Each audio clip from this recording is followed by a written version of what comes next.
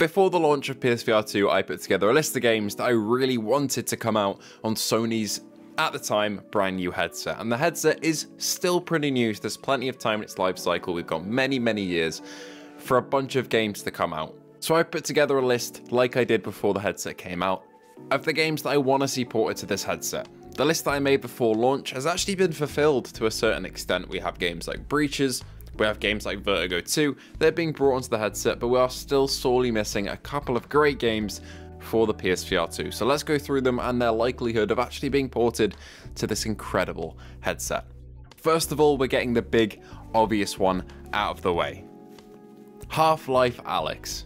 Touted as one of the best VR games of all time, and probably the best-selling VR game of PC VR overall too, Half-Life Alyx is a flawless masterpiece in my eyes, which raised the bar of VR immersion with some of the best visuals, the best combat, and incredible storytelling that Valve is known for in what I think is one of the best VR games ever made.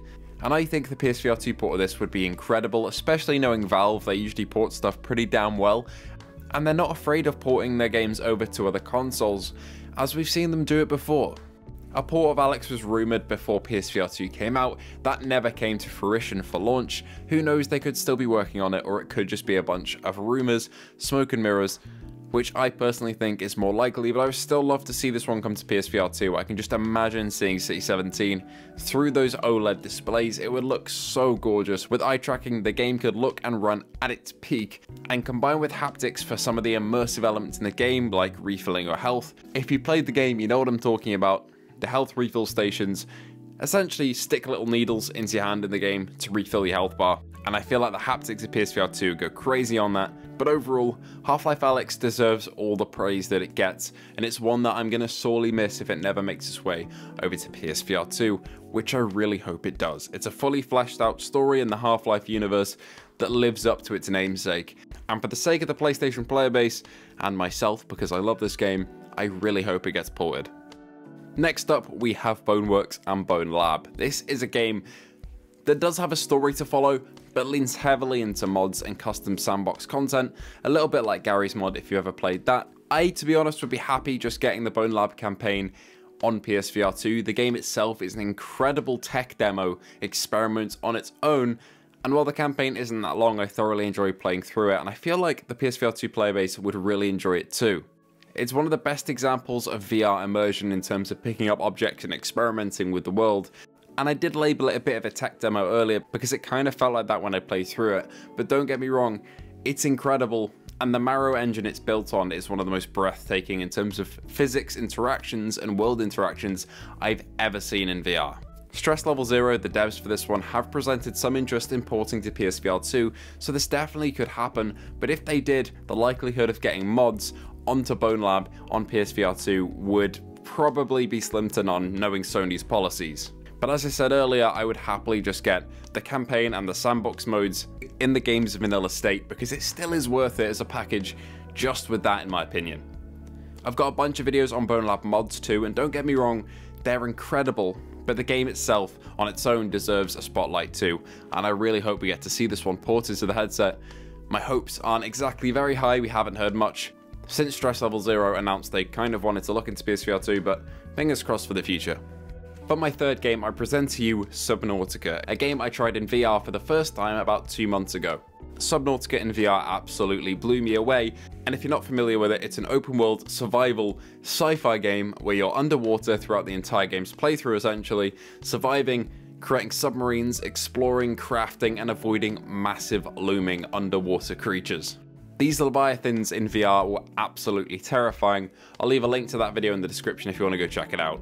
But the one thing that I commented on in that video was that I would love to see how Subnautica looks with full controller support on PSVR 2 through the OLED HDR panels because I think it would look incredible. The flora and the fauna of 4546B in Subnautica deserve that. Through the DPVR E4 headset that I was using, the game looked good, but it uses what is essentially a Quest 2 display in there, which is not OLED, and I think the PSVR 2's OLED panels would have really make this world pop and plus Subnautica in VR is absolutely terrifying. So I really would love more people on PSVR 2 to experience that, but I think the likelihood of this one is very, very slim. if we ever did see anything come out of this studio in terms of PSVR 2, it would probably be a Subnautica sequel because I doubt they'd go back to Subnautica or Below Zero and port it over.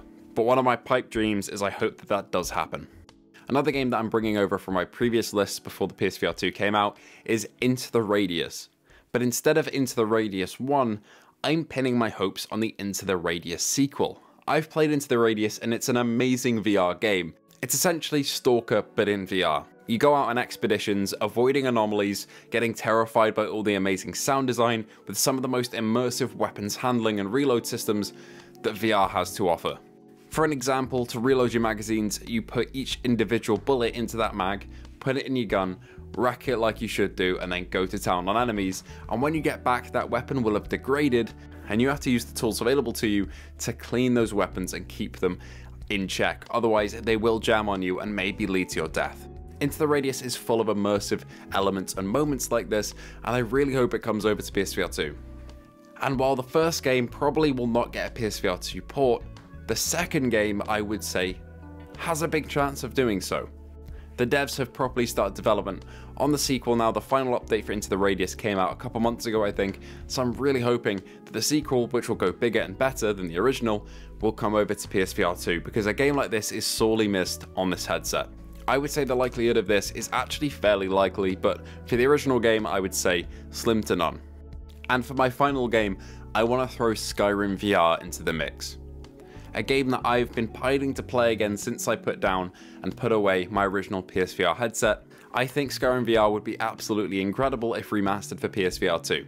Everyone knows, everyone and their mum knows what Skyrim is, I don't really need to explain it to you, I imagine, but I can actually talk to you about how the game was on the original PSVR headset. It ran pretty damn well, but looked fairly fuzzy, and I think on the PSVR 2 it would look absolutely incredible, especially with a revamped control system on the PSVR 2 with joysticks and the orbs and the haptics. Performing magic, firing arrows, and doing melee combat would feel so much better on the new headset. I absolutely adored Skyrim VR on the original PSVR 1, but unfortunately I have to say there's a slim, slim chance that actually comes over to PSVR 2. If not a chance at all, because Microsoft now own Bethesda. As you've probably seen, Starfield is an Xbox and PC exclusive, so I don't see The Elder Scrolls Skyrim coming over to PSVR 2 at any point in the future. Your best bet for this is either to go play it on an original PSVR, which is a bit of a blurry mess with awful tracking, or to get it on PC VR and deck it out with mods. So that is another pipe dream one for me. I don't think it will happen, but I would be absolutely ecstatic if it did. Anyway, there we have it. That wraps up my top five most wanted PSVR 2 ports. Some of them I think could definitely happen, and some of them I could think probably won't happen due to acquisition rules or just due to the nature of the game or studio interest. If there are any other games you'd love to see ported to PSVR 2, let me know in the comments below. I'd love to hear what you guys think. What games are you interested in? And are there any actual PSVR 2 releases that you're really looking forward to? One for me, coming up very, very soon, is Breachers, and I cannot wait to show that off to you guys, because that game is something special. Anyway, thank you all for watching, and I hope to see you all in the next video.